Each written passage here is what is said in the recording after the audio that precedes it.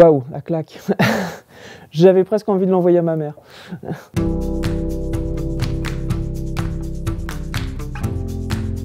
Moi, ce qui me plaît dans le métier de libraire, c'est l'échange avec les gens. Est-ce que c'est un métier comme les autres? Je dirais non pour une chose, c'est que vous emmenez vos livres au lit. Et donc, c'est, je pense, le seul métier où vous finalement finissez par travailler au lit.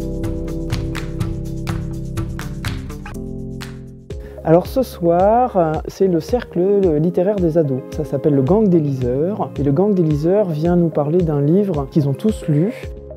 Il y a un côté très convivial. Euh, on rit beaucoup, euh, en même temps on chamaille beaucoup.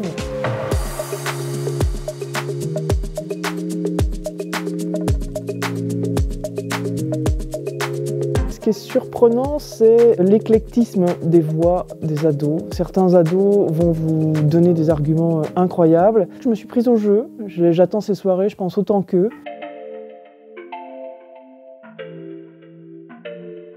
C'est un bouquet d'émotions, ce livre. Il y a des moments où on a beaucoup ri, d'autres qui ont été très touchants. Et en même temps, la première question qu'on se pose, en tant que libraire en tout cas, c'est mais à qui je vais confier ce livre-là?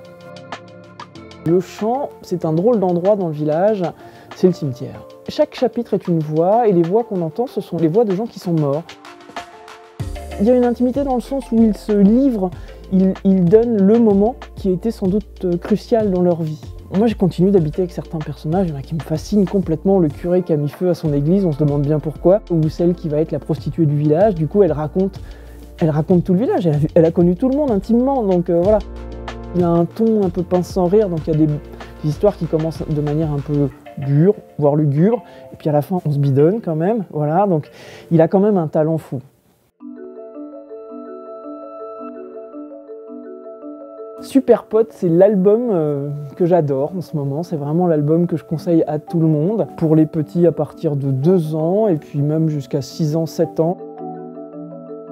Super Pote, c'est l'histoire d'un ours et d'un écureuil qui sont super potes. Et c'est vrai que l'ours, il est un peu balourd, il casse toujours tout parce qu'il est un peu trop gros, un peu trop maladroit. Il fait pas attention à son ami l'écureuil, donc voilà. Et au bout d'un moment, l'écureuil lui dit Bon, j'en peux plus, j'ai besoin d'air, faut que tu t'en ailles, va-t'en. Et il s'en va. L'ours est très triste, mais surtout, l'écureuil s'aperçoit que sans l'ours, mais la vie est vraiment nulle. Ça n'a pas beaucoup de saveur, la vie tout seul. Donc c'est sur l'amitié. Mais en fait, ça pourrait être un couple amoureux, c'est exactement pareil. Euh, on a besoin de l'autre pour exister, on a besoin du regard de l'autre pour partager les moments, parce que les bons moments vécus tout seul, bah, il y a beaucoup moins de saveur dans tout ça. Il y a une saveur du texte qui est drôle, qui est, qui est rythmée. C'est un album qui porte beaucoup de valeur et qui porte aussi beaucoup d'humour. On est dans un récit familial, elle raconte l'histoire euh, de son lien avec sa mère, de son lien, elle devenue mère. On est dans ce rapport euh, du féminin dans la famille qui va déterminer euh, la manière dont on est femme dans la vie, et la manière dont on est mère, mais aussi épouse, maîtresse. Elle est documentariste et journaliste, donc elle a une plume qui est très fluide. C'est pas un texte sur lequel on achoppe, elle a des paragraphes qui sont assez courts, assez vivants. Le texte est vraiment très agréable à lire et très aisé à lire. Elle a cette capacité de parler à tout le monde, elle est emblématique d'une génération.